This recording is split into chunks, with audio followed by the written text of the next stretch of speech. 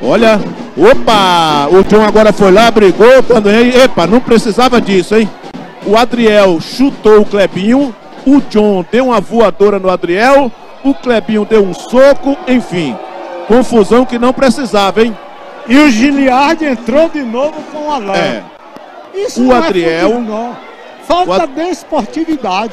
Isso. Isso é anti-futebol. Entrou o Giliard, entrou o treinador. Vale tudo, garotão.